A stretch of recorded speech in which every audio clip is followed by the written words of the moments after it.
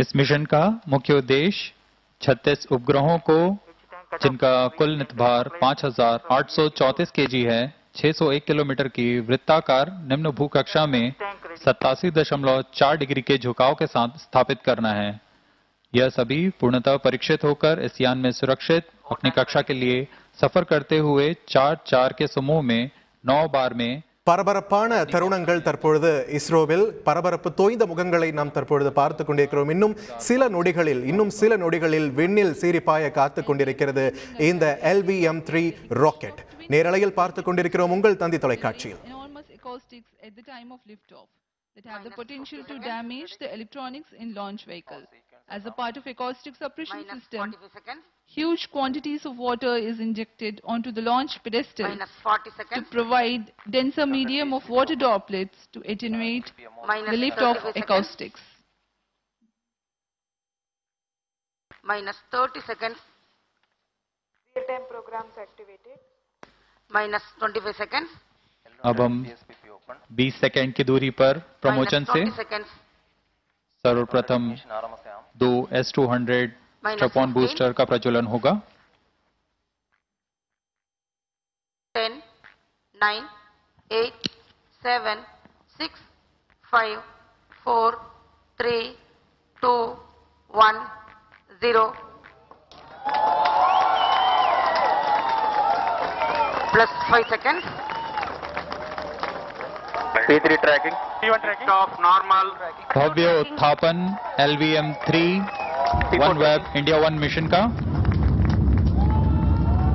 Normal liftoff and an enchantingly beautiful sight of the twin S200 boosters burning, saluted against the night sky. मध्य रात्रि को आकाश को रोशन करता हुआ S two hundred Stage boosters Performance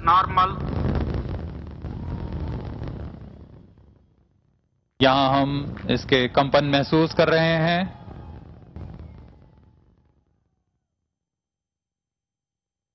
Clearing the night sky, the LVM-3 M2 mission moves forward. 25 meters Sharp long as 200 boosters, each carrying 205 tons of one HTPV-based propellant. Plus 1 minute. Action time 126.6 seconds. They develop a peak thrust of 5,952 kilonewtons in vacuum. प्रथम चरण का निष्पादन पूरी तरह सामान्य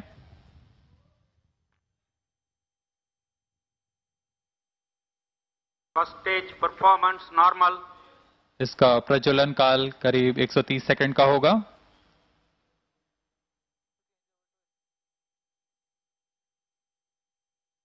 S two hundred के प्रज्वलन काल समाप्त होने से पहले ही एल वन टेन जो कि तरल नोदक पर आधारित चरण है द्वितीय चरण का प्रज्वलन शुरू कर दिया जाएगा